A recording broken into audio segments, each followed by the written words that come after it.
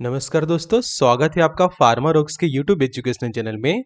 तो आज के वीडियो लेक्चर में हम ऐसे हेल्थ प्रॉब्लम और उसके सॉल्यूशन के बारे में बात करेंगे, जैसे कि आँखों के आसपास जो है वो सूजन हो रही है।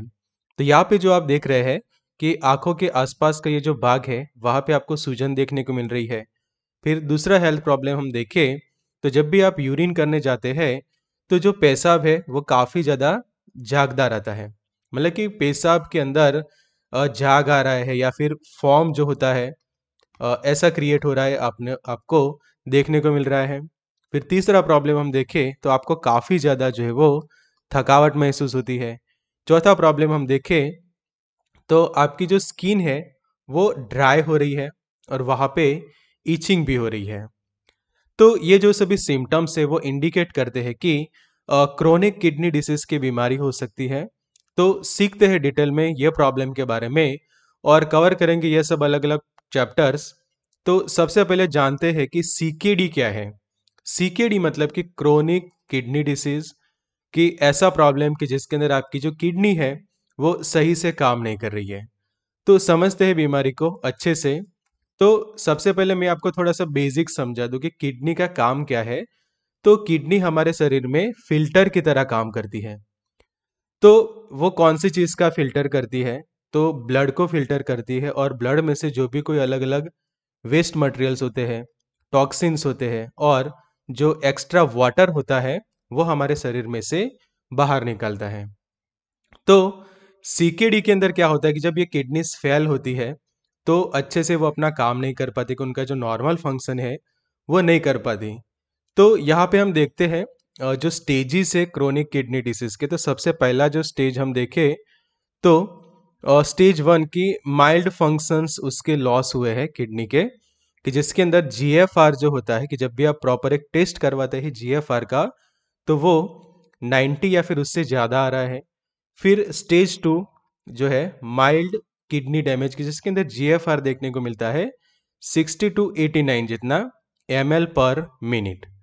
फिर मान लो कि और ज़्यादा किडनी खराब हो रही है तो वो जी एफ़ आर कम होके हो जाता है 45 से 59 तो यहाँ पे आप देखिए जैसे जैसे किडनीज और ज़्यादा खराब हो रही है, आपका जी एफ़ आर जो है वो काफ़ी ज़्यादा कम हो रहा है। तो ये प्रॉब्लम को हम सीकेडी कहते हैं। तो आपको ऐसे ही अलग अलग बीमारियों के बारे में सीखना अच्छा लगता है, उनके उपचार के बारे में सीखना अच्छा लगता है तो आप हमारी बुक भी परचेस कर सकते हैं कि जिसके अंदर आप डिटेल में सभी बीमारियों के बारे में सीख पाएँगे। तो ये बुक को ऑर्डर करने के लिए आप हमें व्हाट्सअप कर सकते हैं ये नंबर पे और साथ ही उसका सैंपल भी चेक कर सकते हैं। तब आते हैं टॉपिक पे और समझते हैं कि सीकेडी के रीजंस वगैरह क्या है। कौन से ऐसे रीजंस है कि जिसके कारण आपकी किडनी जो है वो खराब हो सकती है। तो अ, सबसे मेजर एक अ, उसका रीजन है वो है हाई बीपी हाई बीपी यानी कि हाई ब्लड प्रेशर और साथों साथ डायबिटीज़ तो डायबिटीज़ में भी ये है कि अगर आपका जो शुगर लेवल है वो कंट्रोल में नहीं रहता तो आगे जाके आपके किडनीज खराब हो सकती है। फिर जो ब्लड है, वो अच्छे से किडनीज तक नहीं पहुँच पा रहा। मतलब कि हमें पता है कि हमारे जो इतने भी अलग अलग ऑर्गन्स हैं हमारे शरीर के, उनको ब्लड की आवश्यकता होती है कि उनके तक ब्लड जो है वो अच्छे से पहुँचना ज़रूरी है। पर सीकेडी के अंदर क्या होता है कि किडनीज खराब हो जाती है कि अगर उनके पास ब्लड जो है वो अच्छे से नहीं पहुँच पाता। फिर किडनीज अच्छे से उनका काम नहीं कर पा रही है और कोई ऑब्स्ट्रक्शन हुआ है कि जो यूरिन का आउटफ्लो जो है वो प्रिवेंट करते मतलब कि नॉर्मल जो हमारा यूरिनरी ट्रैक है, उसमें से यूरिन अच्छे से पास नहीं हो पा रहा। कोई ऑब्स्ट्रक्शन हुआ है, जैसे कि कोई किडनी स्टोन हुआ है या फिर जो यूरेटर ऑब्स्ट्रक्शन हम कहते हैं तो ये कंडीशंस प्रोड्यूस हुई है। उसके अलावा हम देखें तो रीनल आर्टरी के अंदर कोई ब्लॉकेज है तो भी आगे जाके आपकी किडनीज खराब हो सकती है। जैसे कि आप देख रहे हैं यहाँ पे कि ये वाला भाग है आर्टरी का है, जो ब्राउनिश रेड कलर का है और ये वाला जो ब्लू साइड का जो पार्ट है, वो वेन का है। पर मान लो कि आर्टरी के अंदर किसी जगह पे इस तरह से कोई ब्लॉकेज हो जाता है। तो ब्लॉकेज होने से क्या होता है कि जो ब्लड है, वो अच्छे से आपकी किडनीज तक नहीं पहुँच पाता कि जो ऑक्सीजन वाला ब्लड होता है, वो किडनीज तक सही से नहीं पहुँच पाता और उसके कारण ये प्रॉब्लम हो सकती है। फिर हैवी मेटल का पॉइजनिंग हम देखें, फिर फीटल डेवलपमेंट प्रॉब्लम से मलेरिया येलो फीवर और किडनी को कोई डायरेक्टली इंजरी होती है तो भी ये प्रॉब्लम हो सकता है। तो यहाँ पे आप देखो पूरा एक चार्ट देख लेते हैं कि डायबिटीज़ के कारण high blood pressure heart problem और स्ट्रोक के कारण अगर आपको ओबेसिटी का प्रॉब्लम है, फैमिली हिस्ट्री रही है, टॉबेको कंजप्शन आप कर रहे हैं और एज 60 प्लस है तो ये सब ऐसे फैक्टर्स है जो अफेक्ट करते हैं सीकेडी के लिए। अब सिम्टम्स हम देखें तो जैसे हमने शुरुआत में देखा, इस तरह से आपको थकावट महसूस हो सकती है वीकनेस कमज़ोरी मसल्स क्रैम एनर्जी कम हो रही है और नोजिया वॉमिटिंग जैसा फील होता है, भूख कम हो जाती है और नमनेस जैसा फील करते हैं। उसी तरह से जो यूरिन आता है, वो जागदार आता है यूरिन का आउटपुट कम हो जाता है एनेमिक हो सकते हैं आप।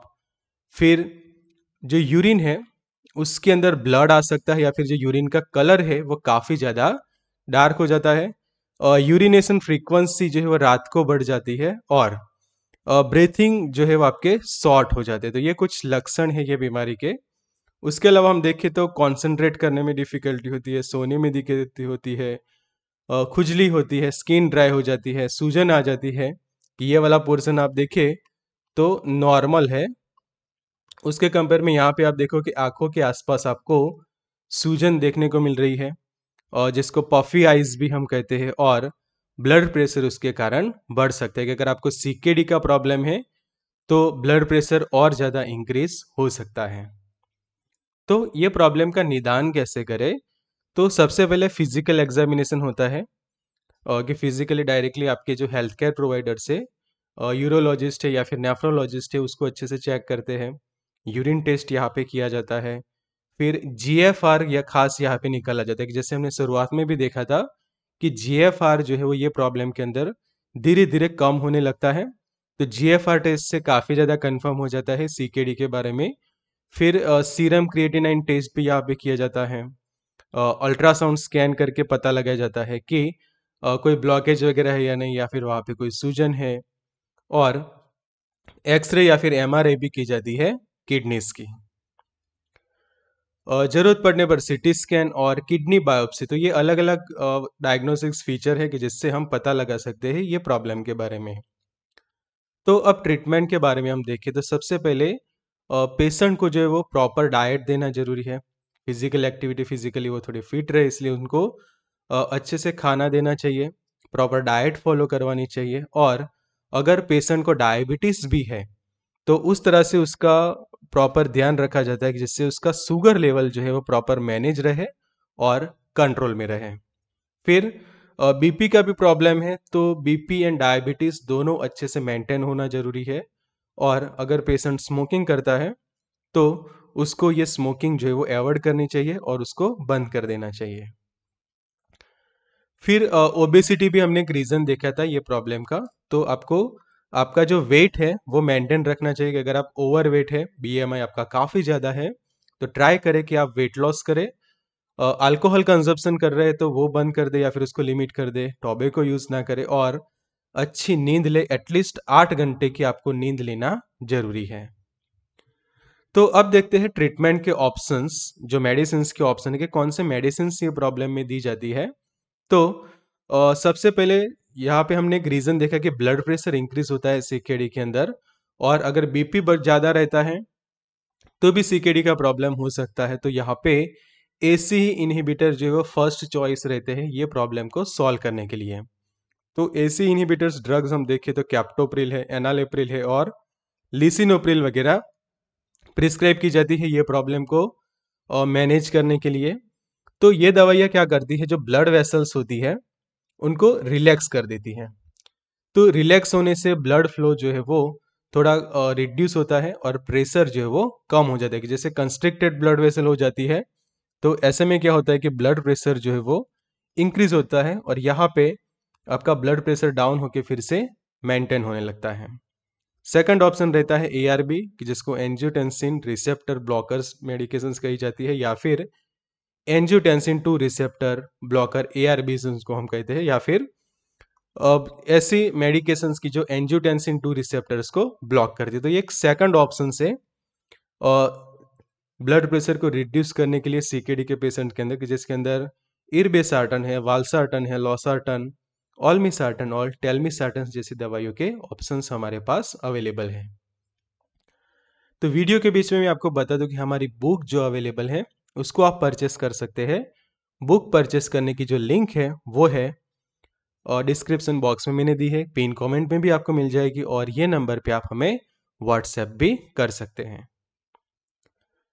तीसरा ऑप्शन हम यहाँ पे देखें तो डायूरेटिक्स का ऑप्शन रहता है कि अगर पेशेंट का जो है वो G F R less than thirty है। तो ऐसे पेशेंट्स के अंदर ब्लड प्रेशर को रिड्यूस करने के लिए ये ऑप्शन बन है कि जिसके अंदर लेसिक्स काफ़ी यूज़ की जाती है, कि जिसके अंदर सॉल्ट कंटेंट रहता है फ्यूरेसेमाइड बुमेटानाइड का भी ऑप्शन रहता है और टॉर्सेमाइड तो ये हो गया डायरेटिक्स का ऑप्शन और स्पेशली लूप डायरेटिक सबसे ज़्यादा प्रीफर किए जाते हैं।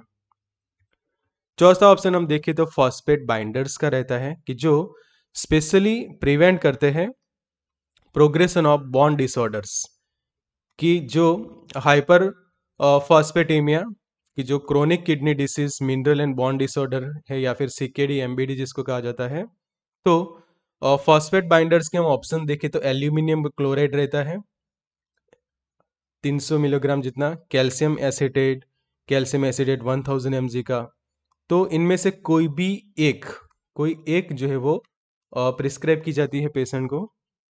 पांचवा ऑप्शन हम देखें तो इरिथ्रोपोइटिन का रहता है कि अगर पेशेंट के अंदर एनीमिया प्रोड्यूस होता है ब्लड उसका जो red blood cell RBC count कम हो रहे हैं तो एनीमिया ट्रीट करने के लिए इरिथ्रोपोइटिन का इंजेक्शन जो है वो दिए जाते हैं कि अगर पेशेंट को सीकेडी भी है और साथों साथ ये एनीमिया का प्रॉब्लम हो रहा है। फिर जो ब्लड शुगर का जो प्रॉब्लम है, उसको भी मैनेज करने के लिए जो एंटी डायबिटिक जो दवाइयाँ हैं, वो पेशेंट को दी जाती है। तो डिटेल में आपको एंटी डायबिटिक दवाइयों के बारे में सीखना हो तो आप डिस्क्रिप्शन बॉक्स चेक कर सकते हैं।